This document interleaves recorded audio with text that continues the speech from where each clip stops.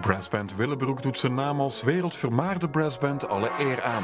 De grote brassband onder leiding van Frans Violet pakt het zilver. Daarmee grijpen ze naast een derde Europese titel. De band wordt met slechts één punt geklopt door een Brits gezelschap. And Franz, you were very proud today, not only for your son, but for all the band. for all the band and for the two bands. Yeah, so we have uh, number one and two. It's uh, it's beautiful. Yeah. It's, uh, it's not it's an uh, festival for Willebroek.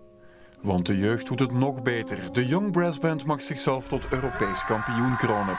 De jonge Lode Violet wordt ook nog eens onderscheiden met de solistenprijs. We had two great performances with Willebroek, I think, and yeah, we, we had a short night, so uh, it was difficult to, to play on high standard again, but it was a very nice performance uh, today again from the, the youth band, so I'm happy, we are also happy.